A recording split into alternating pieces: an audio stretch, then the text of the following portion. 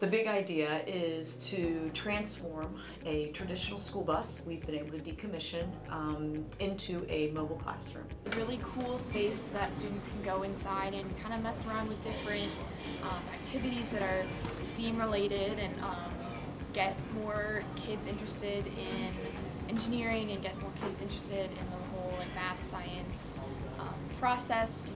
And the purpose is to be able to take that bus out into the community um, after school so that we provide after school supports to some of our kids who don't have Wi-Fi connectivity, um, can't their parents can't keep them after school for one reason or another. To neighborhoods, um, uh, like communities that don't have what we have here at Sycamore, and so I thought that was a really cool idea.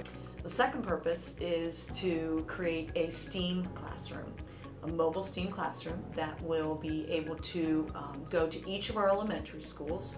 We have four elementaries and then a, a 5-6 building. And show kids and really make them interested in science and that's how I got interested is all these different like hands-on activities that kids can play with and kids can um, interact to get themselves interested. This is a great project-based learning experience for our high school students who are in our engineering, architecture, and graphic design classes.